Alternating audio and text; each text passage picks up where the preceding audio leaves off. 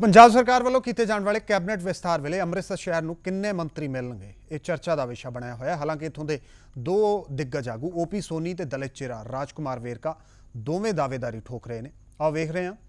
ਜਾਤੀ ਖੇਤਰ ਤੇ ਭੂਗੋਲ ਦੇ ਗਣਿਤ ਵਿੱਚ ਕੌਣ ਫਿੱਟ ਬੈਠੇਗਾ? ਕੈਪਟਨ ਅਮਰਿੰਦਰ ਸਿੰਘ ਦੇ ਸਾਹਮਣੇ ਇਸ ਵਕਤ ਪਾਰਟੀ ਦੇ ਅੰਦਰੋਂ ਵੀ ਵੱਡੀ ਚੁਣੌਤੀ। ਹੈ ਤਿੰਨ ਮਹੀਨੇ ਤੋਂ ਲਾਈਨ 'ਚ ਕਈ ਅਜਿਹੇ ਲੋਕ ਖੜੇ ਨੇ, ਜਿਨ੍ਹਾਂ ਨੂੰ ਮੰਤਰੀ ਵਾਲੀ ਕੁਰਸੀ ਚਾਹੀਦੀ ਹੈ। ਬਜਟ ਸੈਸ਼ਨ ਤੋਂ ਪਹਿਲਾਂ ਅੰਮ੍ਰਿਤਸਰ 'ਚੋਂ ਵੀ ਦੋ ਨਾਂ ਅੱਗੇ ਆ ਰਹੇ ਨੇ। ਅੰਮ੍ਰਿਤਸਰ ਵੈਸਟ ਤੋਂ ਮੌਜੂਦਾ ਵਿਧਾਇਕ ਰਾਜਕੁਮਾਰ ਵੇਰਕਾ ਤੇ ਅੰਮ੍ਰਿਤਸਰ ਸੈਂਟਰਲ ਤੋਂ ਓਪੀ ਸੋਨੀ। ਹਾਲਾਂਕਿ ਦੋਵੇਂ ਕਾਂਗਰਸ ਦੇ ਦਿੱਗਜ ਆਗੂ ਨੇ ਤੇ ਮਾਝੇ ਦਾ ਨਵਾਂ ਚਿਹਰਾ ਬਣ ਸਕਦੇ ਨੇ। ਹਾਲਾਂਕਿ ਵਿਰੋਧੀਆਂ ਨੂੰ ਦੋਵਾਂ ਦੇ ਵਿੱਚੋਂ ਕੋਈ ਵੀ ਫਿੱਟ ਨਹੀਂ ਦਿਖਾਈ ਦਿੰਦਾ।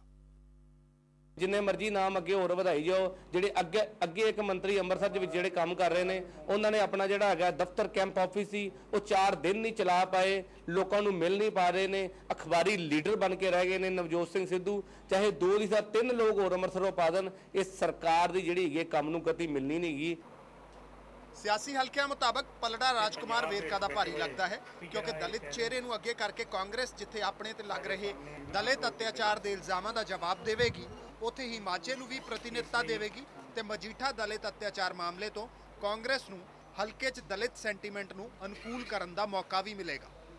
ਤੇ ਅਸੀਂ ਕੈਪਟਨ ਅਮਰਿੰਦਰ ਸਿੰਘ ਪਾਸੋਂ ਇਹ ਮੰਗ ਕਰਦੇ ਆ ਤੇ ਪੁਰਜੋਰ ਅਪੀਲ ਵੀ ਕਰਦੇ ਆ ਕਿ ਸਾਡੇ ਵੈਸਟ ਇਲਾਕੇ ਦੇ ਐਮਐਲਏ ਡਾਕਟਰ ਰਾਜਕੁਮਾਰ ਜੀ ਵੇਰਕਾ ਜੀ ਨੂੰ ਕੈਬਨਿਟ ਮੰਤਰੀ ਵਿੱਚ ਉਹ ਚੌਦਾ ਦੇ ਕੇ ਨਵਾਜਿਆ ਜਾਵੇ। ਕਿਉਂਕਿ ਇਹ ਪਹਿਲਾਂ ਵੀ all India SC ST commission ਦੇ ਚੇਅਰਮੈਨ ਰਹਿ ਚੁੱਕੇ ਹਨ ਅਤੇ ਇਹਨਾਂ ਨੇ ਬਹੁਤ ਹੀ ਬਾਖੂਬੀ ਆਪਣੀ ਡਿਊਟੀ ਆਲ ਇੰਡੀਆ ਵਿੱਚ ਨਿਭਾਈ ਹੈ। ਤੇ ਅਸੀਂ ਚਾਹੁੰਦੇ ਹਾਂ ਵੀ ਹਲਕਾ ਵੈਸਟ ਦੇ ਐਮਐਲਏ ਡਾਕਟਰ ਰਾਜਕੁਮਾਰ ਵੇਰਕਾ ਜੀ ਨੂੰ ਕੈਬਨਿਟ ਮੰਤਰੀ ਬਣਾਇਆ ਜਾਵੇ। ਤਾਂ ਜੋ ਛਾਟੇ ਦੀਆਂ ਵੈਸਟ ਹਲਕੇ ਦੀਆਂ ਆਸਾਂ ਜਿਹੜੀਆਂ ਬੰਦਿਆਂ ਨੇ ਰੱਖੀਆਂ ਵਰਗ ਨੇ ਰੱਖੀਆਂ ਉਹ ਪੂਰੀਆਂ ਹੋ ਸਕਣ।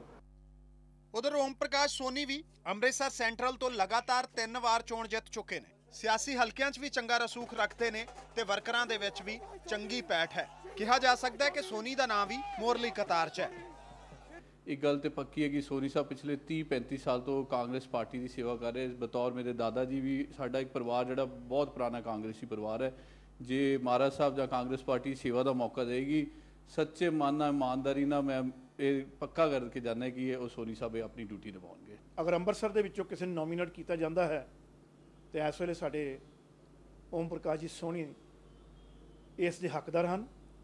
ਆਪਣੀ ਵਫਾਦਾਰੀ ਕਰਕੇ, ਆਪਣੀ ਇਮਾਨਦਾਰੀ ਕਰਕੇ, ਆਪਣੀ ਸਨੈਟਿਟੀ ਕਰਕੇ, ਆਪਣੀ ਦੁਨੀਆ ਦੇ ਬਦਲੇ ਜੋ ਕੰਮ ਕਰਦੇ ਹਨ ਅੰਮ੍ਰਿਤਸਰ ਦੇ ਵਿੱਚ, ਉਹਦੇ ਬਦਲੇ। ਨਵਜੋਤ ਸਿੰਘ ਸਿੱਧੂ ਤੋਂ ਬਾਅਦ ਕਾਂਗਰਸ ਨੂੰ ਅੰਮ੍ਰਿਤਸਰ ਹਲਕੇ 'ਚ ਜਾਤੀ, ਖੇਤਰ ਤੇ ਸਿਆਸਤ ਦੇ ਹਿਸਾਬ ਨਾਲ ਗਣਿਤ ਫਿੱਟ ਕਰਨਾ ਹੈ। ਇਸ ਗਣਿਤ ਵਿੱਚ ਜਿਸ ਦਾ ਜਿੰਨਾ ਮੁੱਲ ਹੈ ਉਸ ਨੂੰ ਓਨਾ ਮਿਲੇਗਾ। ਪਰ ਇੱਕ ਸ਼ਹਿਰ ਦੇ ਵਿੱਚੋਂ ਤਿੰਨ ਮੰਤਰੀ ਬਣਾਉਣ ਦਾ ਗਣਿਤ ਫਿੱਟ ਕਰਨਾ ਵੀ ਕਾਂਗਰਸ ਦੇ ਲਈ ਥੋੜਾ ਮੁਸ਼ਕਿਲ ਹੈ।